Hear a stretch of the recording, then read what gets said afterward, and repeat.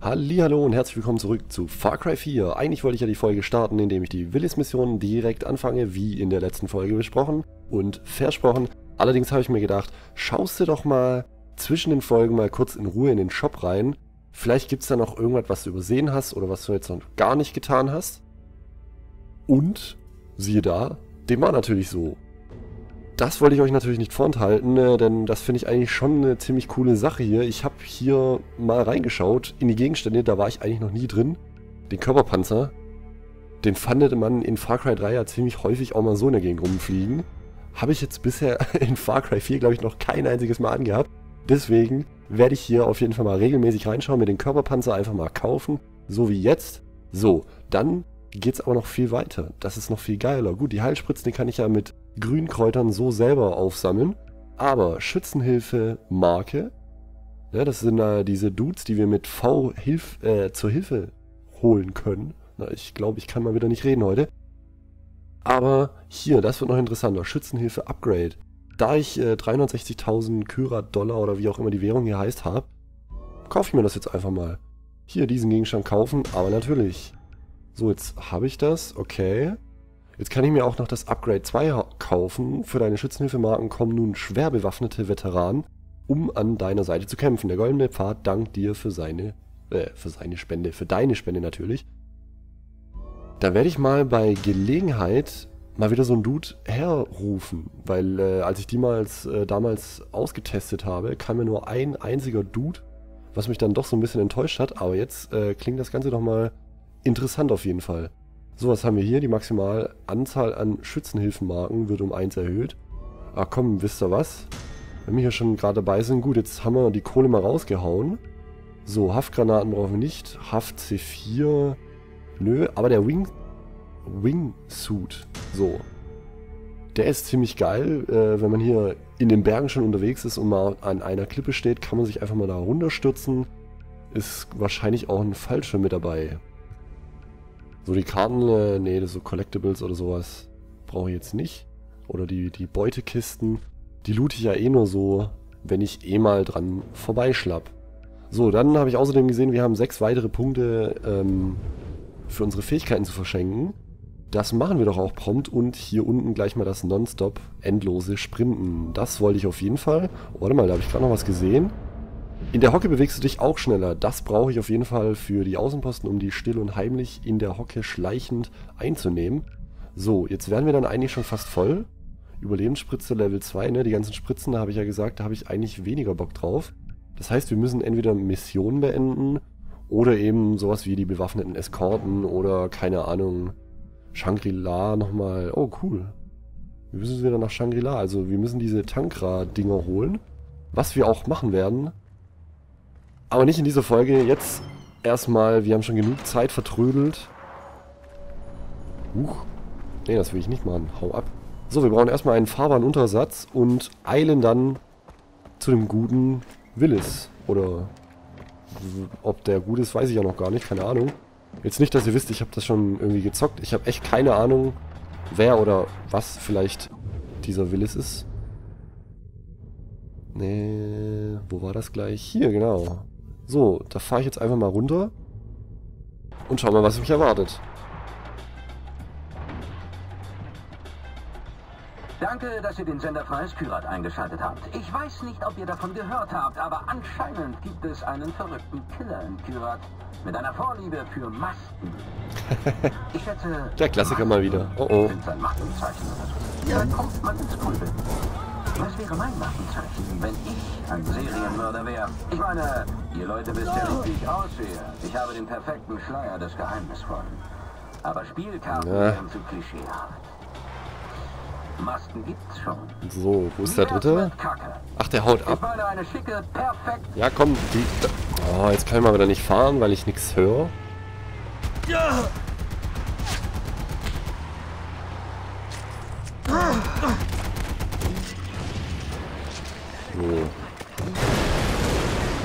Na also, sorry dafür, das musste ich jetzt einfach mal machen, wenn die mir schon voll auf den Sack gehen. Tja, der Körperpanzer, den wir gerade eben gekauft haben, der hat sich somit erübrigt. Schade eigentlich. Aber gut, ähm, ich weiß jetzt von dessen Existenz und werde ihn mir öfter holen. Und äh, ja, vielleicht sterbe ich dann auch nicht mehr so oft.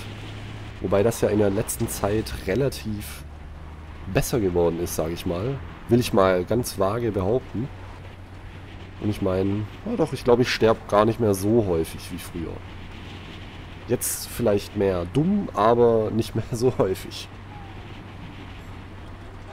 So, und der Arabi, der Ray Runner, der muss sich echt mal wieder was Neues überlegen, weil dieses Gelaber von Kacke geht mir langsam auf den Sack. Es ist kein Geheimnis, dass Kyrat finanziell nicht gut dasteht. Aber wenn es nach Amika geht, geht's bald bergauf. Ich rede von Schulen, Krankenhäusern, Geld, um Ärzte und Lehrer zu bezahlen. Und wer weiß, vielleicht sogar für Schutzimpfungen. Klar, das wäre alles Drogengeld. Aber ja, das Drogengeld kennen wir. Ich halte eigentlich nur an wegen habe ich jetzt direkt drauf geparkt. Oh Mann, das war ja wieder... Äh, ach komm, ich halte hier extra an wegen diesem Kackkraut. Da stelle ich auch noch direkt drauf. So, wo bist du jetzt? Hier. So. Und wenn wir dann auch schon dabei sind... Ich höre Wölfe. Äh, ich will auch gar nicht so lange hier bleiben. Ich wollte eben nur das Poster und das Kraut graben und ich bin auch gleich schon wieder weg. So, hat auch gar nicht lange gedauert.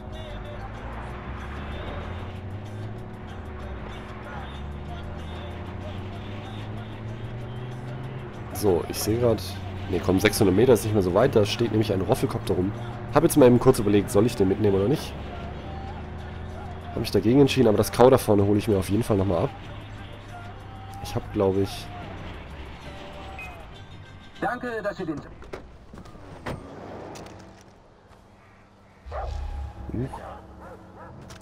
Die haben auch noch Hunde, ey. Nee, komm. Ich dachte jetzt vielleicht sniper ich vielleicht einen weg, aber nö. Wenn ihr mir Hunde auf den Hals hättet, dann äh, müsst ihr halt damit leben, dass ich auch abhau. So findet ihr garantiert keine neuen Freunde, ihr doofen Rothosen. Sind bestimmt alle so sozial völlig inkompetente Dudes, die sich da melden. Was? Brüder und Schwestern, hier ist Weiß Kyrat mit Rabbi Ray Rana. Es ist kein Geheimnis, dass Kyrat finanziell nicht gut dasteht.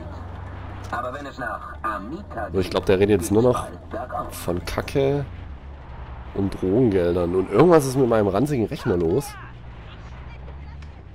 Ich muss das mal prüfen beim Autofahren. Ruckelt und leckt das wie Hölle. Da werde ich mal vielleicht ein bisschen an den Einstellungen rumschrauben müssen. Hä?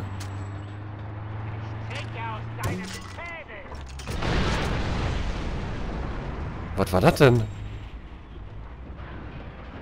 Hat's da gerade meine Granate mitten in der Luft angehalten? Warum hast du irgendwelche Superkräfte oder sowas, von denen ich gerade irgendwie nichts weiß? Mann, oh Mann, oh Mann. Ach, warte mal, ich bin ja schon vorbei. Ich bin ja schon längst vorbei. Ja gut, dann... Äh, aber das machen wir jetzt zu Fuß voll. Was stand da gerade? Militär? Was? Unbekannter Ort.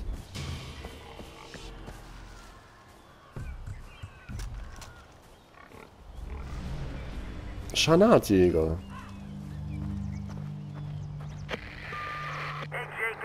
Ja? Sohn von Moalge, Gründer des Goldenen Pfades. Aufgewachsen bei der Mutter in den Staaten. Zurück in Kyrat wegen ihres letzten Wunsches. Wer sind Sie? Ich sag's dir, nachdem du mir geholfen hast, den Vogel auf dem Flughafen zu landen. Und warum sollte ich das tun? Du bist hier, um Gutes zu tun und die Bösen zu töten. Nicht wegen Wahrheit oder Pflicht. Je eher du mir hilfst, desto eher kannst du mit dem Kriegsspielen auf fremdem Boden weitermachen. Außerdem habe ich Infos für dich. Ah, hallo? Sind Sie noch da? Na, super.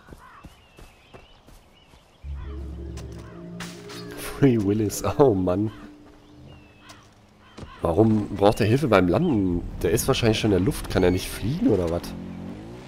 Freund, das überlegt man sich vorher, ob man Vogel äh, landen kann.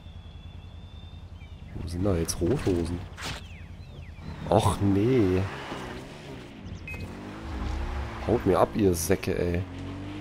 Aber ich feiere das irgendwie. Wie ich so einen kleinen, winzigen Rest an äh, Schildenergie habe. Naja, ich wette, jetzt komme ich da hoch zu dem ranzigen Flughafen und da wimmelt es nur so von Rothosen. Dabei waren wir schon mal da oben. Und war es dann total leer. Aber gut, ich meine, wimmelnd mit Rothosen ist ja irgendwie interessanter, nicht?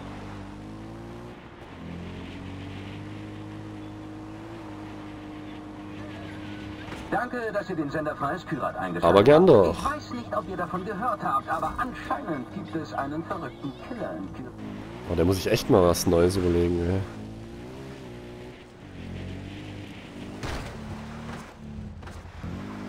Fahren kann ich heute auch nicht. Also ich weiß nicht. Ich glaube, AJ sollte sich mal wieder ins Bett hauen und einfach mal zwei Tage durchpennen. Ich meine, wie lange rennt er hier schon rum und tötet Rothosen im Auftrag des Goldenen Pfades, ohne auch einmal nur, weiß ich, pinkeln zu gehen? Der Mensch hat doch Bedürfnisse. Der muss doch mal kacken gehen oder sowas. Gut, essen tut er aber auch nichts. Das wird's vielleicht sogar erklären.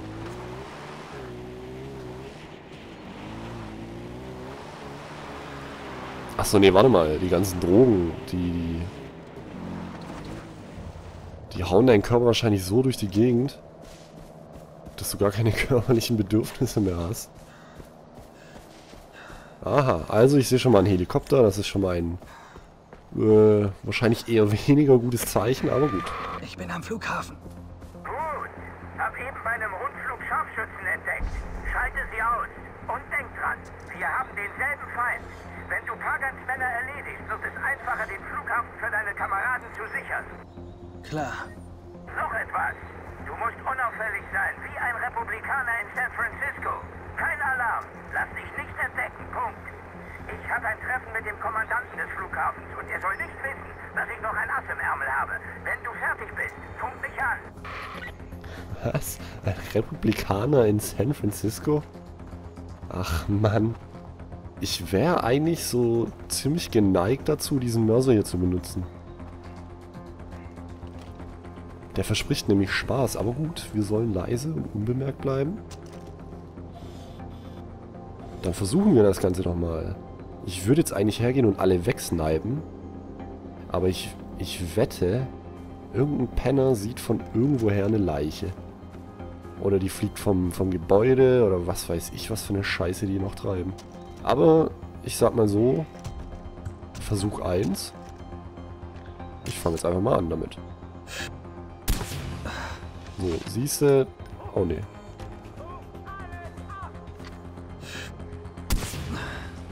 Ach shit.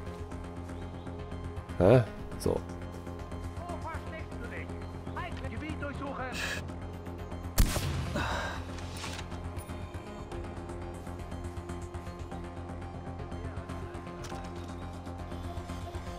Ach, da hinten ist der Kommandant.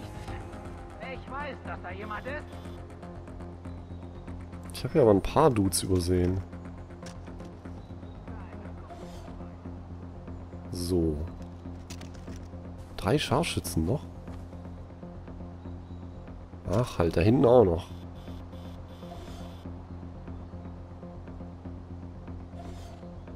Ja, dann drehe ich mal meine Runde, nicht wahr? Und aus der Entfernung wird das Ganze wahrscheinlich doch ein bisschen schwieriger.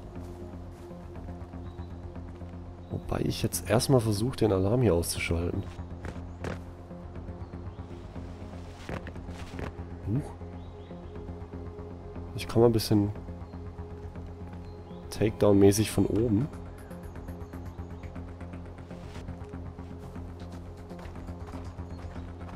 Ich hoffe, dass mich niemand sieht. Na gut, hat jetzt nicht so viel gebracht. Weil wir noch zwei weitere haben, aber... Ich arbeite mich langsam vor.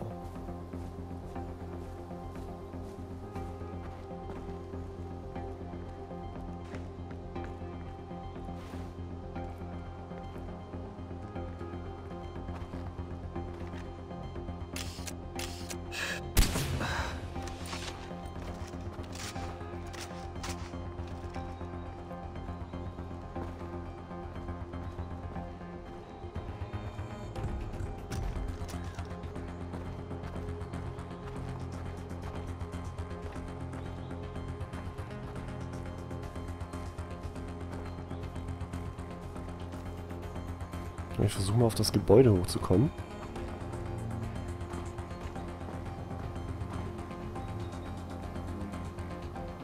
Da fühlt man sich gleich wie Sam Fisher. Ich schleiche durch die Gegnerhorden. Und metzel alle nieder. Aber ich bin leise.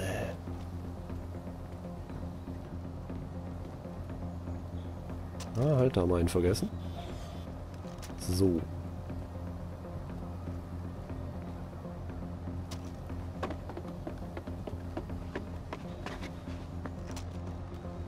So, das ist doch mal eine ziemlich geile Position hier oben. So, und ich wette wieder. Pass auf, wenn ich den hier abknall, dann checkt das einer von denen da unten.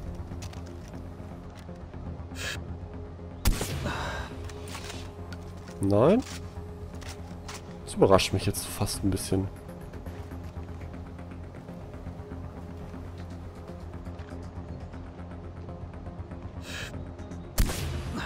Oh, das war ein Okay. Skillshot. Sie können jetzt sicher landen.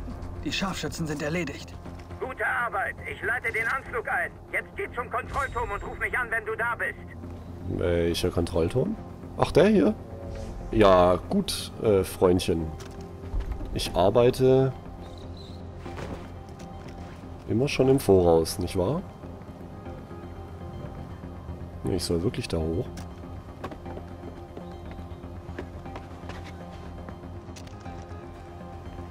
Bin in Position. Bleib da und halt mir den Rücken frei. Ich habe noch was zu erledigen, bevor wir reden können. Wenn bei dem Treffen was schiefläuft, gebe ich dir ein Signal. Was für ein Signal? Wenn ich Reaganomics sage, fängst du an zu schießen und hörst erst auf, wenn alle erledigt sind. Reaganomics? Okay. Ich meine jetzt Ronald Reagan. Er hat ja, er hat ja so ein bisschen mit. Kanal offen, aber sei ruhig. Republikanern. Ich. Der Typ ist ein kleines bisschen sprunghaft. Verstanden? Verstanden. Gut. Dann mal los.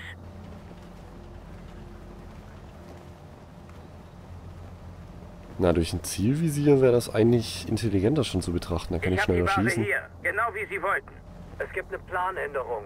Was soll das? Ich sagte Planänderung. Juma will, dass ich sie zu ihr bringe.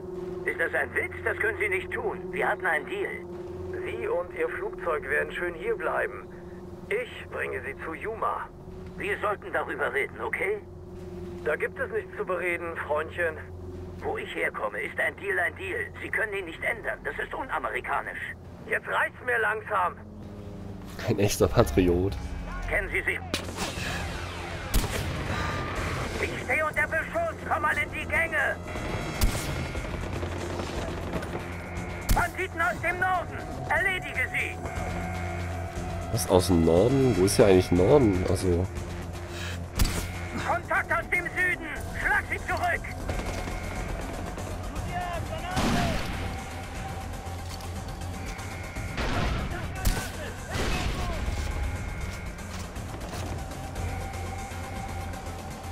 ja, lauf doch, du Idiot.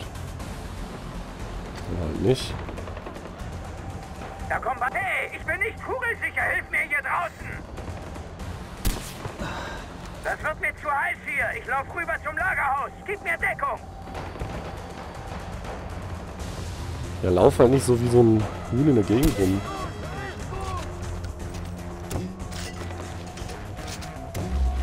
Huch. Ups.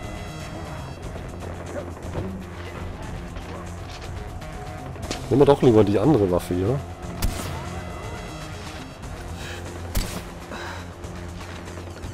Warum rennt er auch hin das Gebäude, wenn er weiß, ich bin auf dem anderen Gebäude und kann nicht durch Wände glotzen, Mann. Ich bin ja kein Superheld oder so. Deckung geben heißt, dass du mich beschützt. Achso, da ist noch einer.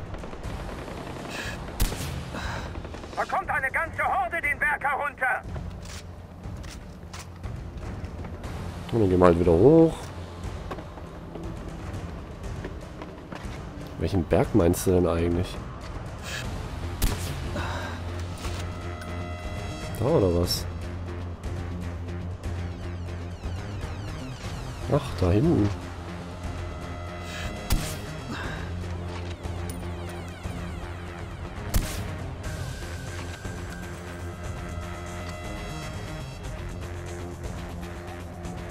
Moment, jetzt kann ich ja eigentlich auch das Ding hier benutzen. Beschuss von allen Seiten. Das ist ja wie damals in Fallujah. Ach, weißt du was? Scheiße, wo ist mein Scharfschützengewehr? Naja. Ich gehe jetzt einfach zu dir, weil du scheinst ja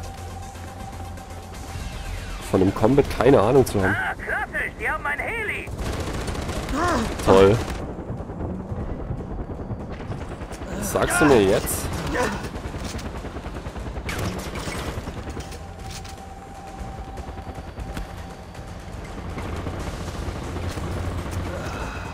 So, wo ist der Arsch?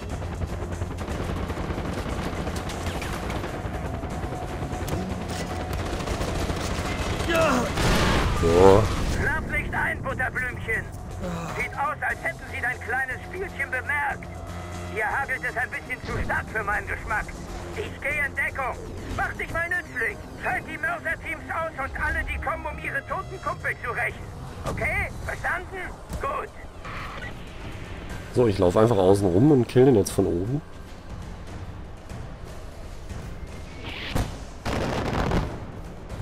Ja, dann kann ich das Ding selber benutzen.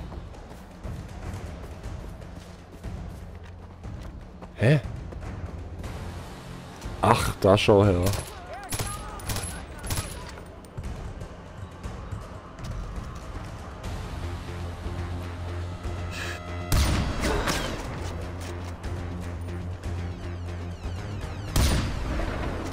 Das ist mal ein geiler Bums.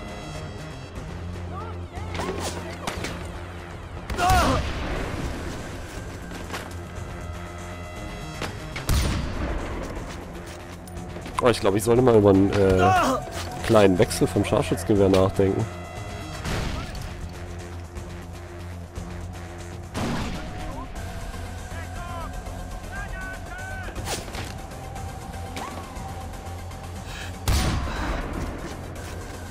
Ja, ich bin schneller wie du.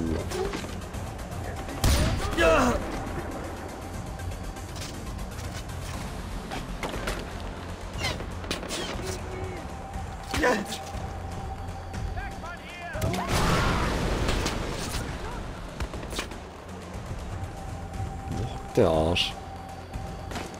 Hm. Und wo ist Willis jetzt eigentlich? Bei all den Schüssen und Explosionen, die ich nicht höre, würde ich sagen, du bist sicher. Komm und triff mich im Lagerhaus, damit wir uns endlich mal kennenlernen.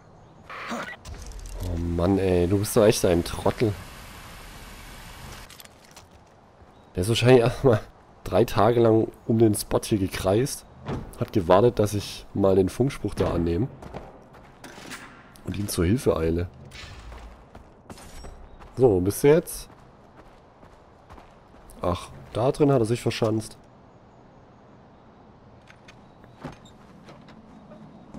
»25 Jahre und ich weiß immer noch nicht, ob das Abwasser hier so stinkt oder nur der Mangel an Hoffnung. Ich rieche gar nichts. Diese Verkleidung brauche ich jetzt wohl nicht mehr. Also, wer sind Sie eigentlich? Sieh dich an. Amerikaner im Innern und dennoch zu gebrauchen. Du bist der perfekte Wolf im Schäfermantel. Besser als der Sunny Boy, den ich beim letzten Einsatz babysitten musste. Ihr seid aber beide Patrioten, würdet beide jedes Mal die Hand aufs stolze Herz legen, wenn am 4. Juli die Nationalhymne im Stadion gesungen wird. Dennoch zu gebrauchen? ich arbeite für Langley, Agent Willis Huntley. Langley, also CIA. Alles, was du über deinen Vater wissen musst, steht in der Akte, Welche Akte? die in dem Flieger, den gerade abhebt. Oh, scheiße. Hey, das wirst du brauchen.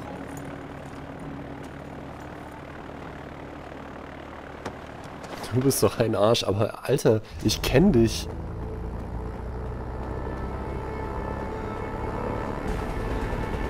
Ich kenne den Typ, der hat's ja auch gesagt.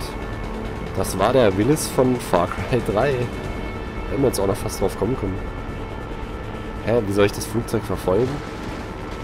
Alles klar. Der ist doch los. witzig.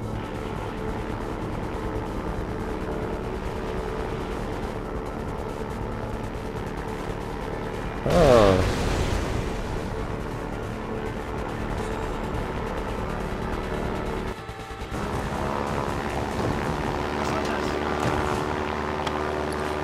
Komm.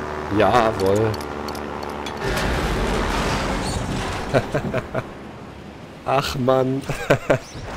Wie geil. Auch noch so richtig schön Hollywood-mäßig. Der drückt sie nicht schon im Cockpit dem Typ ins Gesicht. Nein, der drückt sich erst weg und schmeißt dann die Granate noch ins Cockpit und trifft natürlich genau. Geil. Leg mich am Arsch. AJ, ich vermute, du hast die Akte. Ja, und sie hilft mir kein Stück weiter. Das sehe ich von umgedrehten Blättern, die ich kurz drei Sekunden Sie anstarre. ist redigiert. Du willst mehr wissen? Dann halt die Klappe und hilf mir bei einem Job. Dann nehme ich ein paar der Balken raus. Gut. Was für ein Job. Ich bin hier, um Pagan Min und Yuma zu stürzen, was die Einheimischen anscheinend nicht schaffen. Und ich dachte, dein Volk versteht was von Guerilla-Kriegsführung. Dein Volk?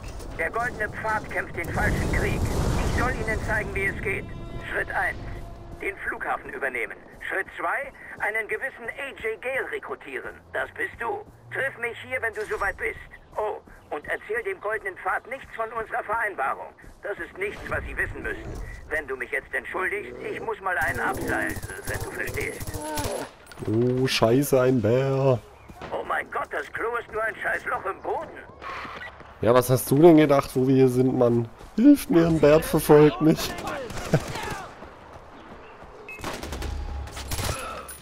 ja, und jetzt kümmert euch um den... Schießt doch auf den Bären!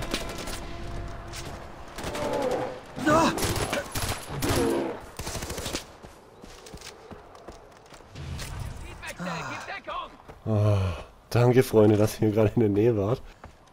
Ja, man sollte die Umgebung doch ähm, immer gut im Auge behalten und nach Bären Ausschau halten.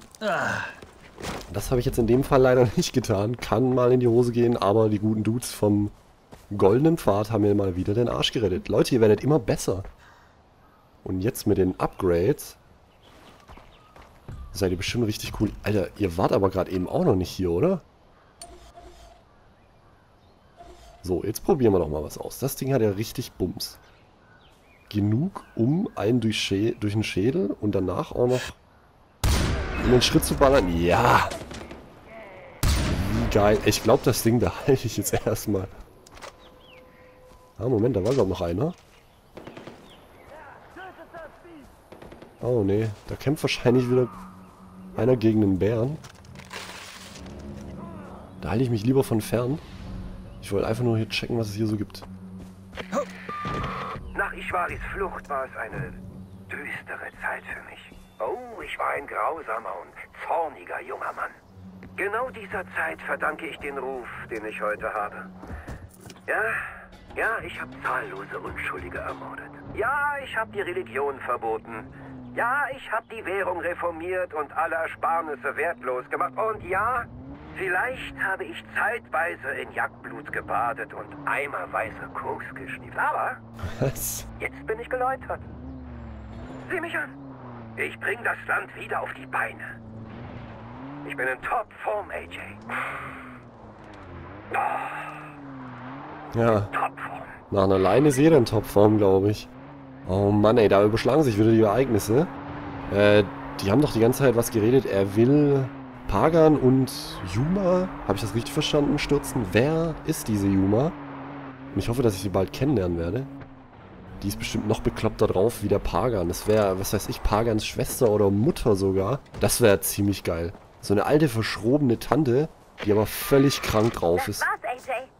Du hast Pagans Männer in die Ecke gedrängt und ihre Nachschublinien zerstört. Es ist Zeit, sie von ihrem Elend zu erlösen. Meinst du nicht? Jetzt wird's aber ein bisschen euphorisch, aber ich sehe gerade... Was zur... Blöder Vogel, ey. Setzt da schon zum Anflug an. So. Meteor. Ja? Das stinkt doch förmlich nach Meth Air. Aber gut, äh, wir wissen ja alle, was Pagan mit diesem Flugzeugträger, wollte ich gerade schon sagen. Nein, Quatsch, ein Flughafen ist das zwar ein kleiner, aber doch ein feiner Flugzeugträger ähm, hier vorhat. Deswegen natürlich der Mete Air oder Meth Air, wie ich ihn jetzt einfach nennen werde. Treffender Name. So, aber wir sehen auf der Uhr, oder ich sehe vielmehr auf der Uhr, es ist schon wieder Zeit, die Folge zu beenden. Ich bedanke mich fürs Zuschauen. Ich werde in der nächsten Folge auf jeden Fall wieder die Willis-Mission starten. Die macht mich jetzt nämlich hungrig auf mehr. Die war ziemlich nice. Wir sehen uns hoffentlich bis dahin in der nächsten Folge. Auf Wiedersehen!